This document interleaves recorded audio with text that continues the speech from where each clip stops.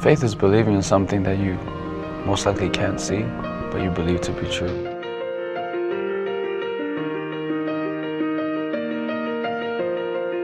It was definitely hard. Uh, was possibly the hardest thing that I've, to, I've had to do so far.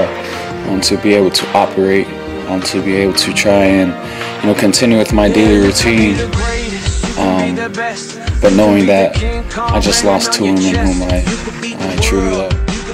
You can talk to God, go banging on his door. You can throw your hands up, you can beat the clock. You can move a mountain, you can break rocks. You can be a master, don't wait for luck. Dedicate yourself and you can find yourself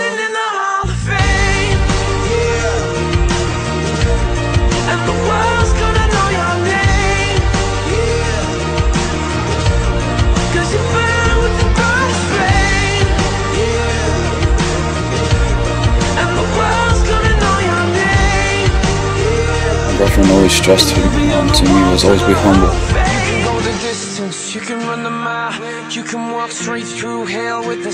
If anything, this experience has truly humbled me and has strengthened my relationship with my Heavenly Father. And um, you know, I've always said that you know, if, if I'm on God's team, I can't be beat.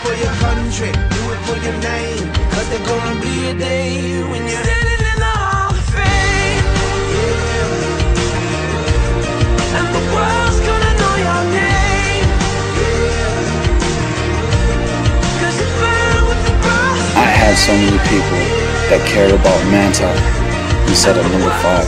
Four years ago, I made a decision to come here, and uh, I didn't really know why.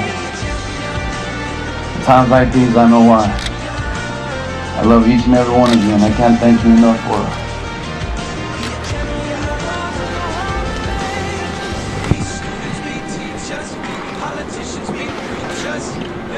All the love and support you shown me and my family. We're gonna have our good days and bad days. Um, but for me, I've learned that you know, when that storm does come, you know what foundation do I have? And what am I gonna lean on? And I've learned that I'm gonna lean on my, my Heavenly Father, gonna uh, lean on my family, and I'm gonna lean on my team.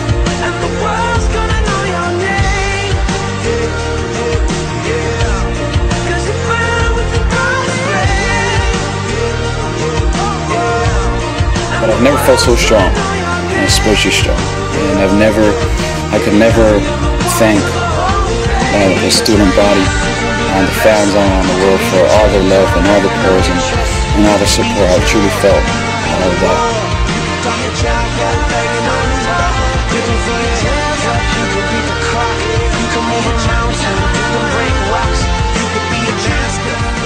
When life gets hard walking, try walking it on your knees.